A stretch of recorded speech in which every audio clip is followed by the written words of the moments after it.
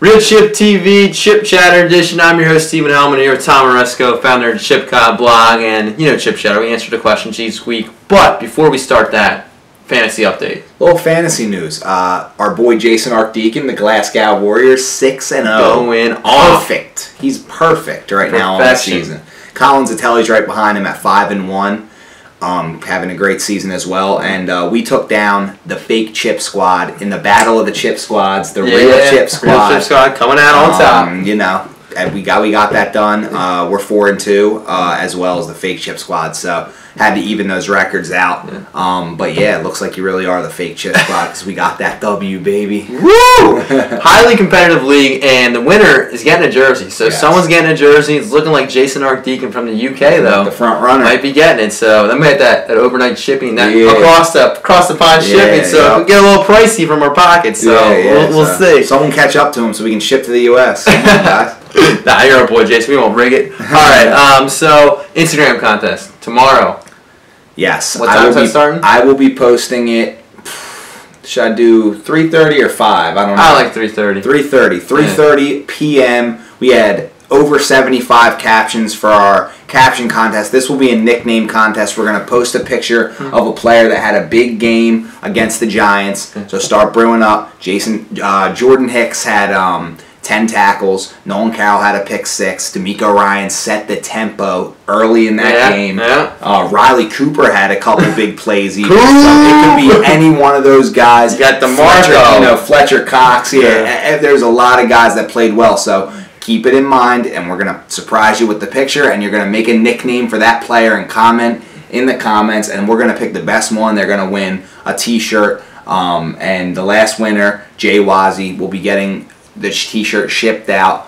Uh, to him, maybe this weekend we can ship it out. Or Did he get? Did he? Did he get back to you? yeah, he got back to me. Sorry about that. See, to tell this guy. I'm the mail guy. He, you know, he Yeah. answers them, so I gotta get it to you. So Jay Wazzy, that's his fault. So as soon as I get it, I'm gonna get it to him. Yes. And uh, for that, uh, for the nickname contest, I'll give you a hint.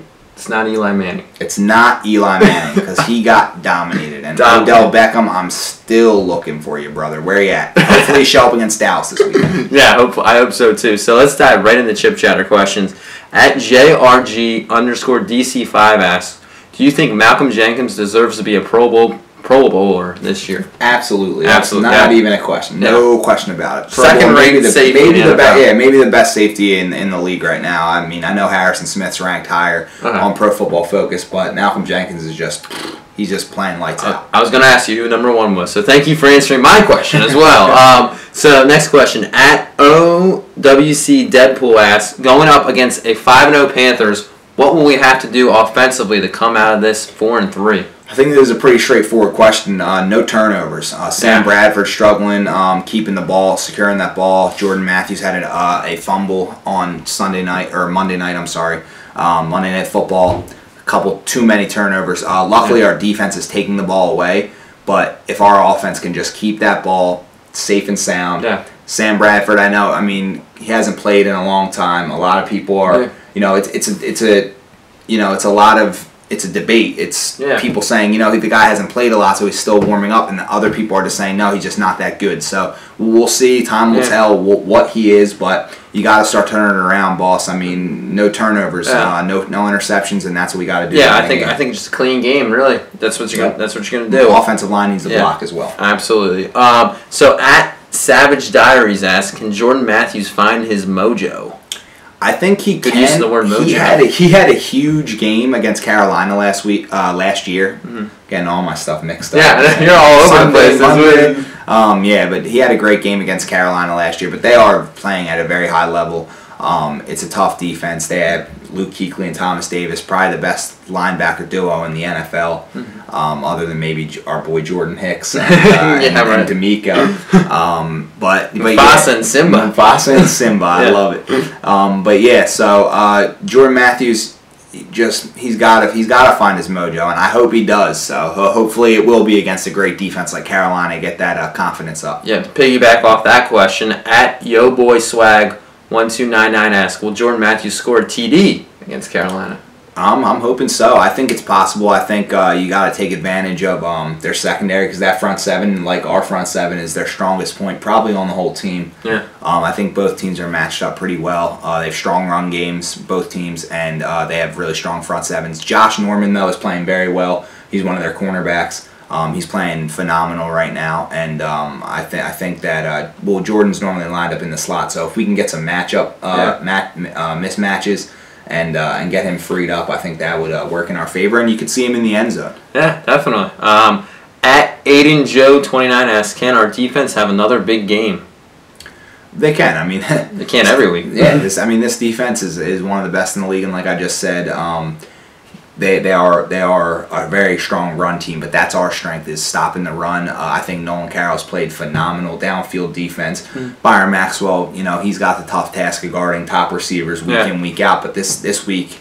You know they don't really have a go-to receiver other than you know Greg Olsen, um, and it'll be nice to get linebackers uh, Mychal Kendricks and Kiko Alonso back in the mix. I don't think Kiko's going to play. Kendricks has a chance, but our linebackers have been playing really well, guarding Yeah, and absolutely. stopping the run. So uh, it will it will be um, it will be on the corners to you know stop those outside receivers, and they don't really have a go-to uh, guy Yeah. and stopping that run. So Greg Olsen's got to get you know you know he won't be shut down. He's just too Yeah. good for that. But if you can shut everyone else down, Yeah, keep um, him in check, contain Cam. I think. Exactly. Yeah. Yeah, you got it. Got to roll.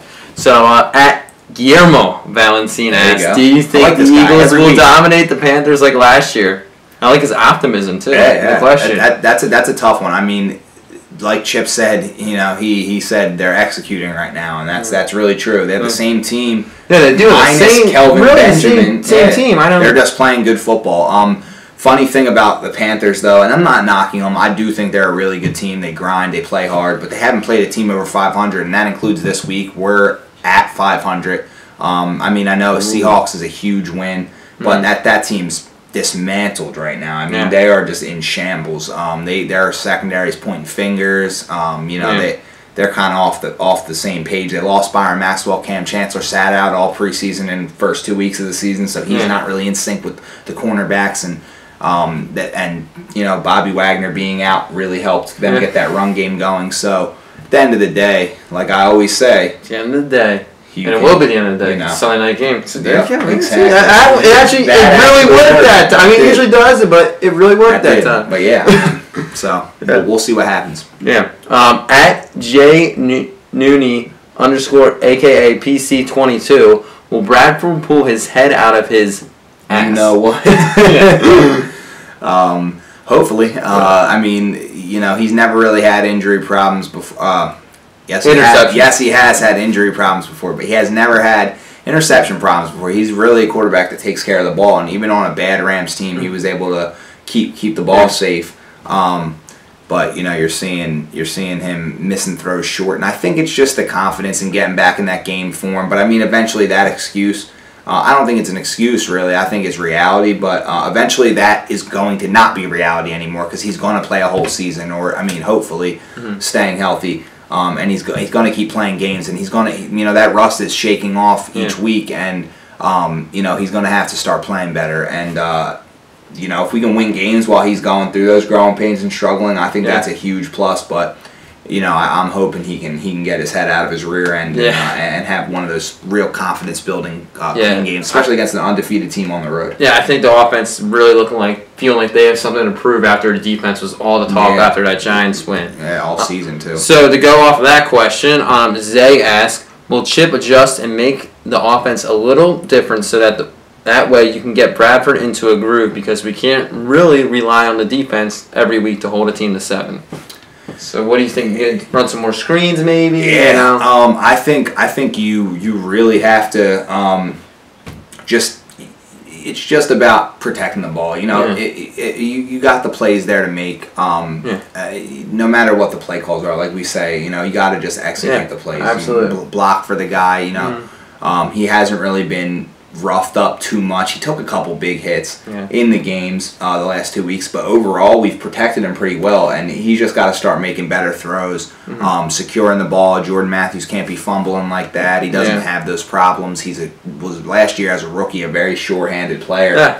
and it just seems like things are just kind of more pressure. I think he's feeling the pressure, Yeah, yeah. and they Yeah. just need to chill out, and they need to start making the plays that are there to be made, and when, when they are there to be made, just execute it and make that play, and, and I think they'll be fine. Yeah, okay. Um, at Tim Wackass is the last question. Is DeMarco Murray going to score more than one touchdown next game coming off his best game last Monday? It's a good question. Um, I, I'd like him to, uh, but that Carolina front is superb. They are very, very good. Uh, like I said before, Kuechly and Thomas Davis are absolute studs, and they're gonna be looking to shut that thing down. And hopefully, uh, hopefully our run game is is uh, you know all three guys are running the ball well. And Yeah. I think if, if we can get the W, I don't think Demarco really cares what he what he personally does. I just think he's he's all in for this for this team. Yeah, I think I think he gets touchdown. I think Sproles is going to get another one. That's my prediction. That's my prediction I right like now. Sproles. I'd like to see Sproles on special teams do something big, Yeah. big, big return. Um, you know, we're gonna need all three phases to be playing very well to beat this team on the road. I will be there in the Yeah, building. you're going to be there. Um, hopefully, we get the Uh, W. Yeah, but I think you know, I think I think they can do it. I think they can do it. Um, I guess I mean I guess we got to say what what our predictions are going to be, right? Yeah, we got to. Yeah. Um, I'm gonna take the Eagles in a uh, in a grinder. I'm gonna take the Eagles in a grinder. I'm gonna take them 23 to 21. Okay. an absolute heartthrobber and they somehow, some way pull it out at the end. They get it done and they put they go into the bye feeling good, three straight wins, getting to four and three, and they give Carolina that first loss of the season. Yep, I'm opti- I'm optimistic. We're, we're just optimistic guys. I can't. It's hard for me It's to go against them, and I think And they're playing I just well think right Carolina's now, due so for a loss. rightfully Like you said, that stat you dropped that they're they haven't played anyone above 500 They haven't yet. played a defense like this, and Yeah, it's crazy because they just like played this. Seattle. Yeah. So who would have thought? You know, Yeah, they haven't played defense like this. You're five and zero. You know, statistics, odds, what physics, whatever Mhm. says. You know, you're you're due for a loss. You're Yeah. just due the in the universe of grand scheme of how things work. Football guys. Holy power, football guys, whatever. They're due for a loss, and I I just don't. I just can't see them playing at this optimal level, week in and week Yeah, out. especially without a, a, a top receiver on the. Yeah. I mean, they're kind of like us. We don't really have a top receiver either. Yeah. It's, it's going to be a grinder. It's going to be a, a really, really hard nose. Like you're going to find out how tough both these teams really are, and I think both of them are really tough. And um, uh, I mean, the good news is though, even if we lose, it's like we, we Yeah, made our ground up. yeah, and we're in a good spot. The division, the division's Winless, bad, and yeah, we, we have um, we have a couple games in hand with the division. We got our first divisional win. Yeah. So we're in a, we're in a good spot. We're not going to have the prettiest record, especially if we lose. But if we win and we go into this bye week four and three, feeling good, Yeah. getting Kiko healthy, getting Kendricks back healthy, Yeah. um, getting Nelson Agholor back healthy, Yeah. getting him. You know, he can just take a breath. He can, you know, Yeah. the whole for your first your first half of your season, your rookie season's going so fast. You, everything's just happening, and Yeah. he can step back, take a breath. Same with Sam Bradford. Mhm. I think if we can get this win, it will be huge for Yeah. this team. But even, even if I they think the bye week's coming at a very perfect uh, uh, time. very good time. Very good time. The word I was looking for was opportune. There Yes, go. Opportune, time. time. yeah. But uh, yeah, I got Eagles 2017. Very close. So thanks for joining us, guys. Chip Chatter. He's gonna be at the game. He's gonna be sending. We're gonna try and hook up some sort of thing where you Yeah, can you'll see Bank of. America Stadium. Yeah, Yeah, see yeah we're going, me and my dad are going to an Eagles bar all Sunday. So uh, Okay. we're gonna, he found one, he said, and we're going to uh, watch all the games there. Um, and then we're going to head over to the stadium uh, right. around game time. So it's going to be a good day, good weekend Yeah. with the Papa. And Yeah. uh, and hopefully we That'll can get good. that W. and I'll be uh, from the show. We're gonna get you down. We're gonna get you. We're gonna set something up. You know, I'll have the little talking head up top, Okay. and we'll see what we can do. We'll but see uh, what we can do. I'll be stuck in this room. All right, but uh, thanks for joining us, guys, and we will see you Sunday.